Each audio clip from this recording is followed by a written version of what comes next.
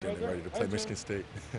You have a chance to see them on film at all yet? And Oh yeah, we watched them a little bit here and there. Um, they, I mean, it's Michigan State. They they have a really good offense, really good defense, everything like that. But um, you know, we do too. So it'll be a great it'll be a great matchup.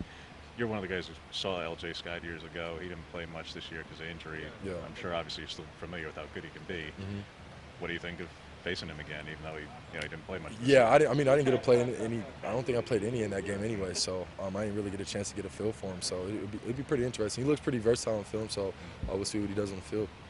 Did you say you wish you could come back for one more year? If Yeah, this of was your course. junior year, you'd come back for another Of course, of course. I, I mean, I love his team.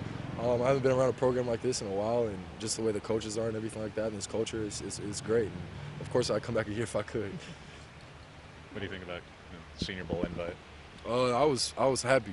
I was really excited. Uh, my mom called me almost crying and stuff. So um, just being able to make my parents proud and stuff like that is, is great. And I love being able to have another opportunity to play football. What does DJ bring, to the field, and how can he make an impact? DJ Johnson? Yeah. Um, he's a great player.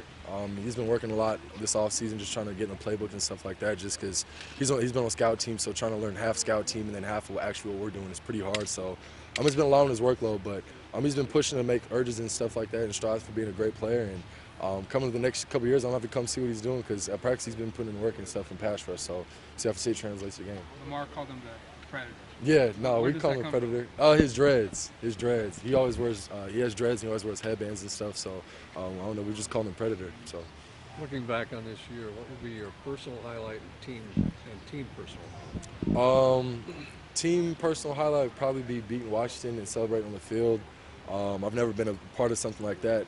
Um, last time that happened to us was when we lost first Oregon State, no, the other way around. So um, I had my dad on the field and stuff like that, celebrating with it was great. So um, per like personal one. Um, Any big play or any? Uh, No, because I wish I could have made more. So you made some. um, you made some. that's a hard one. Uh, I'd probably just say the Washington game, just because I mean we had to put all of our into it, and um, it was a tough game, and we battled it out, and it ended up in, in our favor. So You, you probably already mentioned this before, but uh, just Michigan State, what have you seen on film from them so far? um, they they do run kind of an odd offense. They have a lot of big tight. They have a big tight end, it's like 290 pounds or something like that, and they run a lot of like 21 personnel and stuff. So. Um, we haven't. They haven't really. They don't have a lot of film versus three four, actual three four. So it's kind of hard watching film versus them right now. So um, we're just gonna kind of plug things in and see how it happens and see how we fit gaps and just go from there. what, what's your personal what studies and what are you going to do after football or I mean, after NFL or whatever? Yeah. What do you think? Um, I don't know. I really don't know. Um, main it's- interest? Yeah, my, I mean, of course, I'd like to do something like the art world or something like that, like work for Nike, be like a product designer or something like that. Cool. But um, if things don't work out, I'll just I'd end up coming to try back to coach. I mean, that would always be a good thing. Um, coming like back trying to coach D line or something like that, linebackers. Um, just being around football, the main thing. Um, I mean, regardless, when I, whenever I retire out of the game and I don't get a chance to play again, I'll just I'll be around the game regardless. Something I'll always love. How big was it beating ASU?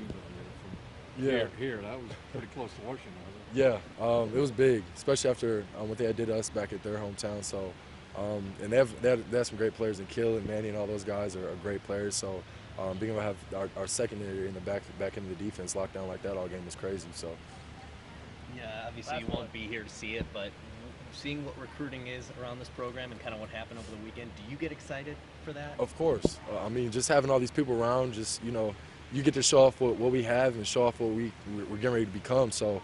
Um, having young guys come up here, five-star recruits and four-star recruits and stuff like that all the time, just goes to show you what type of program we have and what type of program we're getting ready to become again. So um, it's great. All these young guys have been coming up here, have been good guys. Um, I loved all of them. Nobody's had any issues or anything like that. I feel like everybody's had a really fun time here, just hanging out with the coaches and stuff. I think I've seen Coach Joe jump in the pool with clothes on and stuff. So um, it's funny how coaches get around these guys. So it's just fun to have fun with these guys.